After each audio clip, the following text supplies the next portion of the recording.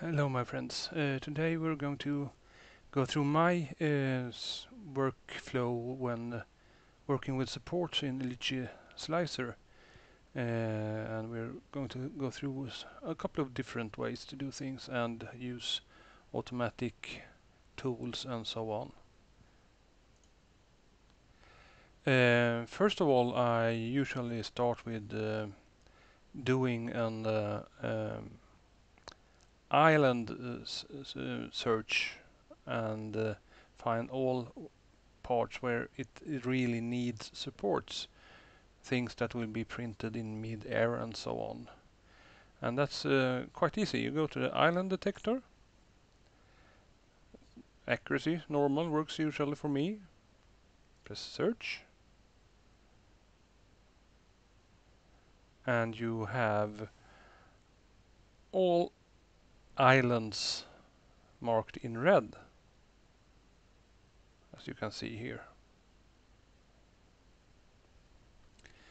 And I like to cheat a little so I uh, use the automatic support add support to all islands. Usually fixes about 99% of the islands.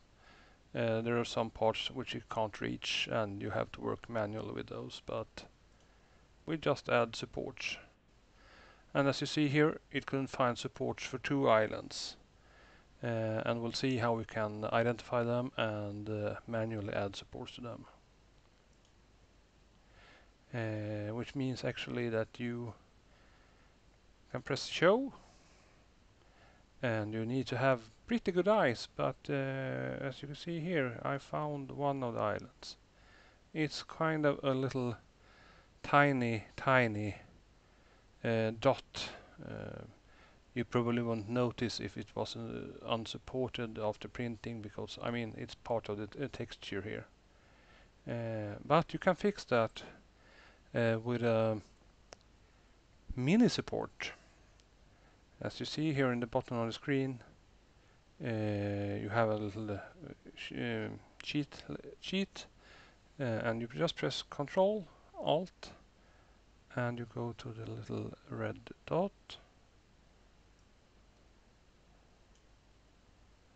As you see here it grows up a little pin here and it's fixed. Then you can move on to the next one and it's actually a little purple one. I'm going to change uh, and we do the same thing here. Control alt. You can support it from uh, hmm. I'm going to put a come on now.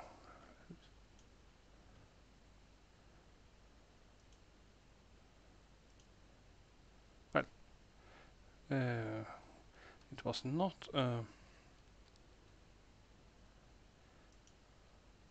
so control alt I pushed the wrong button here. And no islands left to support.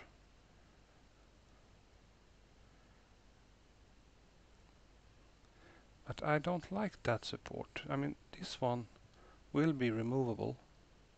And you can actually adjust it to be even more easily to access. But this one is actually going to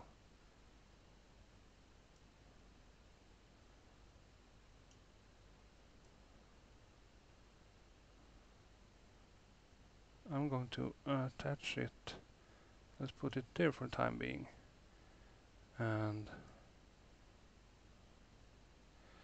This is kind of a little tricky. Uh, we'll just hide it up there and hopefully you can snip it off. Now you have got all the islands, the most urgent parts that needs support supported. Uh, the problem is that when you work with the supports in uh, with a resin printer, you when you think you have enough supports it's just halfway there usually. Uh, and I like to add for uh, long parts like this hand I like to add heavy supports because they are going to grow tall and uh, light and medium gets a little bit fragile within those distances. Uh, I'm going to put a heavy support on this ear as well, as well as on this other ear, just to anchor them properly to the base plate. Uh, and it will also act as a, a stabilizer for when you go to medium supports. Uh, I know that these fingers I'm going to move over to medium supports right now.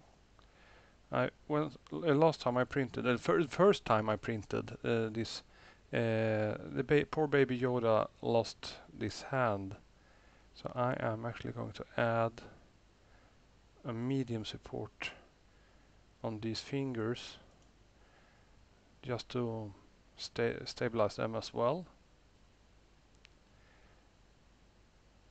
and then I'm going to add you see this white line where, where it gets thick uh, thicker or wider? It's always good to add the support there uh, because then that's uh, a low hanging part so to say. Uh, if you take a look at this ear it has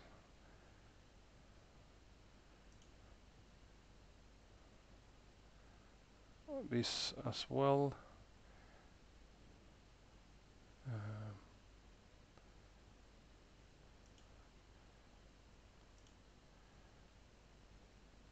to add one there too. So um, you can only add supports to the yellow and orange checkered uh, areas because they are facing down to the build plate.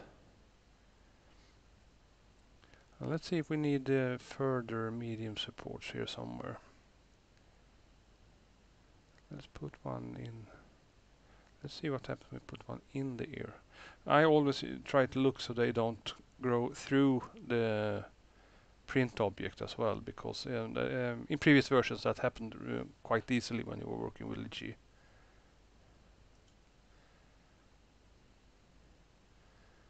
I would actually like to put one here in the tip of the ear on this just to keep it steady so you don't get any artifacts due to movement or such.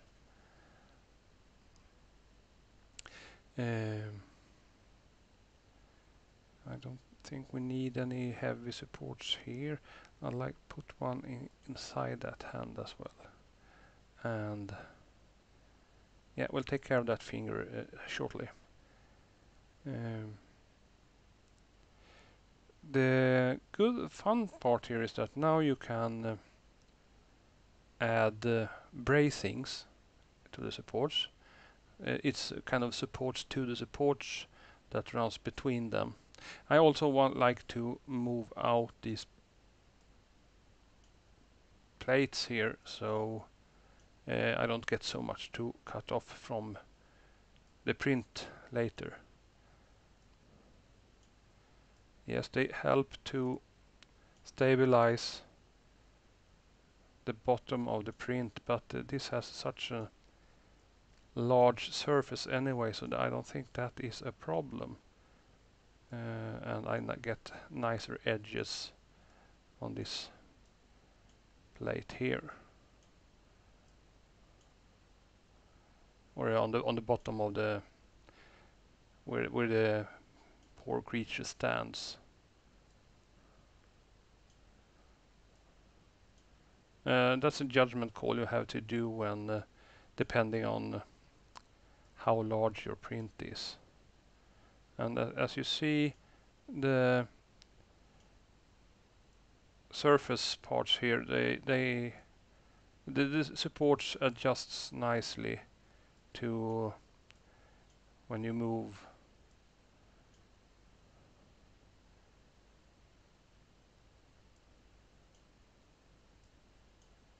around stuff like this.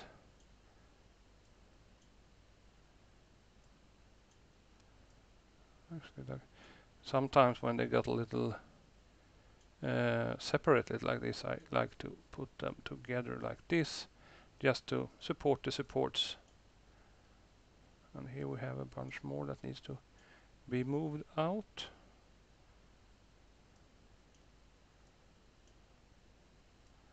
This is, for me, it is a purely aesthetical uh, maneuver. Uh, and because I'm quite lazy sometimes. Uh, so now we have fixed the I can adjust that to um, light as well.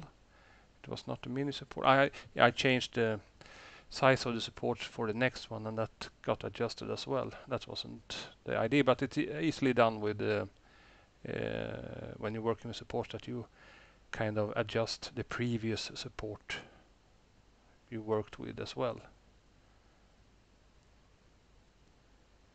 Uh, now I think we're ready to create some bracings and uh, also here I like to use the shortcut. When you put uh, hover your mouse uh, pointer over the button you get an idea what it does. 219 bracings added. And this actually helps a lot with stabilizing. You get kind of a scaffolding instead of uh, long thin pins. And you can actually do it manually uh, as well when you feel that it needs some support. So like, like you uh, push down the Alt button and you just draw them uh, between the parts you want to brace. And I mean there is one that feels kind of lonely.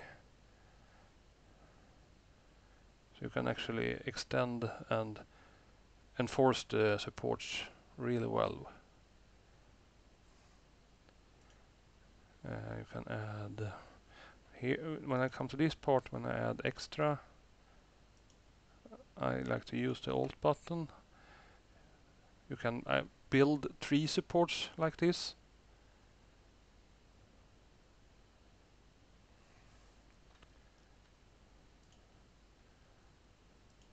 And then I use, usually use the light supports and now we should, must not forget this finger here. Let's do that the medium one. And then we can add uh, yet one more here. And let's do that as medium one as well. And it's suddenly a very stable support uh, setting. I do not think that you need any supports here. Uh, if you had used auto supports, you would have, have had the supports everywhere. Uh, and as I said uh, previously, uh, when you think you are done with your supports, uh, you should add at least if not double it, but put on at least a third more. Uh, but when you have got this basic uh, heavy support and medium support set up, I mean, in this area it's quite difficult to use heavy support because the contact surfaces are so small. But instead you have got a lot of, many supports instead. Uh, but uh, I got the most important uh, parts where uh, uh, heavy supports, in my opinion, are required uh, supported. And now you can uh, fool around with medium and light ones. Like we could put one up his nose here. Uh,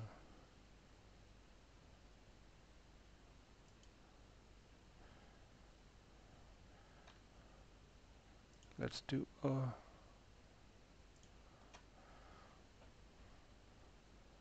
nah, let's forget that. That's not going to be good. But you you see the idea I'm aiming at here right now. Uh, these ears are going to be. I have printed this model before, and it worked out really well for me. So you have at least gotten an idea of how to work with supports now. I hope. Uh, uh, and I usually work with this model. It's a quite large one. I use it uh, to do it hollow. And uh, when you do the 3D hollow that I showed in a previous video, it's actually quite easy to support on the inside.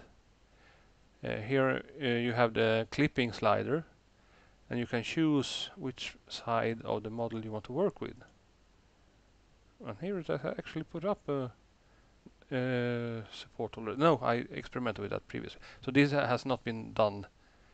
Uh, oh yes, it has actually. It has supported the islands. Yes, it was the islands uh, uh that uh, it fixed. I, I played around here before and uh, but actually it's quite easy to put on internal support when you use this tool You can put on heavy support or everything you see. Uh, when you think it needs extra supporting, uh, usually not required with this model, uh, besides the islands done. and actually, if you like to print this with a transparent resin, you probably don't want the support on the inside. Uh, so you can actually clean up uh, in this model uh, the tiny islands that are on the inside are not going to be seen. So, but you can do it like this anyway. Uh, you have kind of difficulty do it from the above, so you need to go to the, the bottom up instead. And uh, if you go to the preview you can actually run it in the simulator. And that th this is actually a fascinating part of uh, Lychee Slicer. You can see how it builds up your print and how it's growing within the vat. And this is actually also a good part to use because then you can see if you have missed something. If there is something obvious that you should have supported but forgot or something.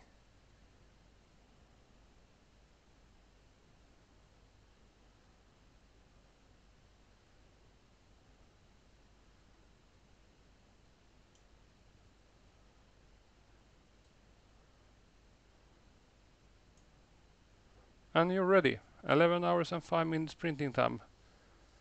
And uh, this is kind of cool to see how large will it be in scale.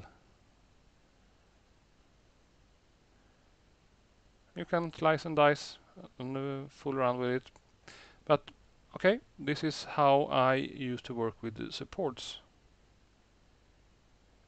So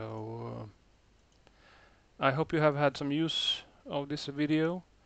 Uh, don't hesitate to give me comments and uh, I'll see I'll try to answer them and uh, you can also um, send me some suggestions on what you want to see. Uh, thank you for this time and uh, have a good day.